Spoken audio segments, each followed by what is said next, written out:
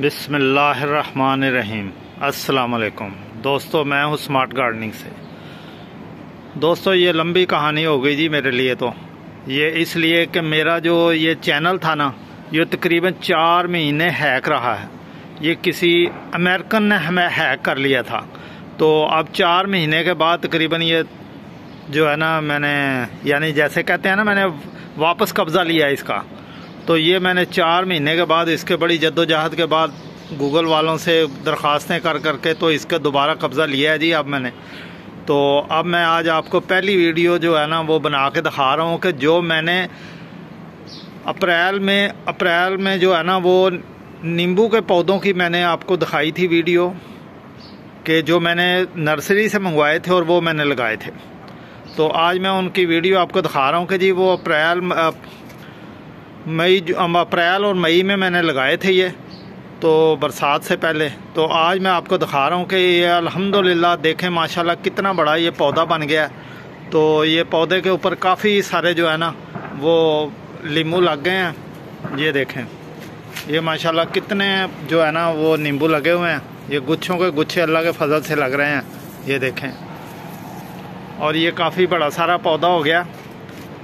तो ये जो मैंने नर्सरी से मंगवाया था, उस वक़्त मैंने ये आठ सौ रुपये का मंगवाया था जी। ऑनलाइन ऑनलाइन परचेज़ किया था मैंने ये नींबू का पौधा। तो ये देखें, ये अल्लाह के फजल से ये चार चपेरे जो है ना, इसके काफ़ी सारे नींबू जो है ना, वो लगे हुए हैं। ये देखें। तो दोस्तों, ऑनलाइन चीज़ों में भी ना काफ़ी चीज़ें जो है ना, वो बेहतर मिल जाती हैं। अल्हम्दुलिल्लाह, काफ़ी सारे जो है ना भाई, वो ईमानदारी से काम कर रहे हैं और काफ़ी जो है ना वो अल्लाह के फजल से काम भी सही हो जाते हैं। तो इसी तरह मैंने ये आप देखें, ये देखें। माशाल्लाह, ये बहुत बड़ा सारा पौधा हो गया जी। ये काफ़ी सारा जो है ना, और ये है किसमें? आपको मैंने पहले दिखाया था कि एक मेरे पास ना क्यारी बनाई है मैंने छत के ऊपर। और इस छत के ऊपर ये देखें ना, ये छोटे छोटे नींबू भी आगे लग रहे हैं। और ये चैनी नींबू है और ये दोनों तकरीबन बारह महीने ये फल देगा इन ताला। तो ये एक मेरे क्यारी है जी, ये क्यारी में मैंने आपको लगा के भी दिखाया था उस वक़्त। ये देखें, ये पौधा है और ये क्यारी एक छोटी सी मैंने बनाई, ये तकरीबन कोई तीन फुट लंबी है और दो फुट चौड़ाई में है। ये देखें, ये माशाल्लाह इसकी ये तना है और ये तना भी काफ़ी जो है ना मोटा हो गया तो इसके अंदर मैंने टमाटरों के पौधे भी लगाए हुए हैं और एक इससे पहले का नींबू का पौधा भी खड़ा है। और ये नींबू का पौधा बहुत इस पे ना फल काम ही लगता है।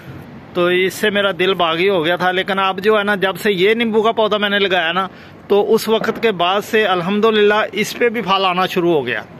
और ये दोनों पौधे जो है ना, एक ही क्यारी में लगे हुए हैं।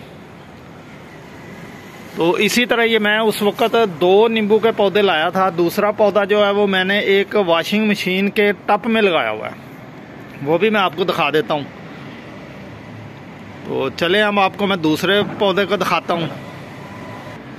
तो दोस्तों, ये है जी दूसरा पौधा। और ये दोनों पौधे जो है ना, मैंने एक वक्त में ही मंगवाए थे पत्तों की नर्सरी से। ये देखें, इसके ऊपर भी माशाल्लाह काफ़ी फल लगा हुआ है। ये देखें। और ये जो अब इन ताला मुसलसल जो है ना, वीडियो अपलोड करता रहूँगा, वो इसलिए कि मेरा चैनल हैक हो गया था और चार महीने के बाद मैंने इसका वापसी जो करवाया इसका पंजाबी में कहते हैं ना जी, कब्ज़ा ले लेना। इसका मैंने कब्ज़ा ले लिया अब इन ताला। तो ये देखें, ये एक वॉशिंग मशीन के टप में लगा हुआ है। ये देखें, ये भी, इसका तना भी उसी तरह ही है। इसके ऊपर भी माशाल्लाह काफ़ी जो है ना फल लगा हुआ है। तो दोस्तों, आज बस इतना की ये मेरी पहली वीडियो है। तो दुआ करें, अल्लाह करेगा इन ताला आइंदा के लिए मैं आपको हर तरह की जो इन्फॉर्मेशन देता रहूँगा।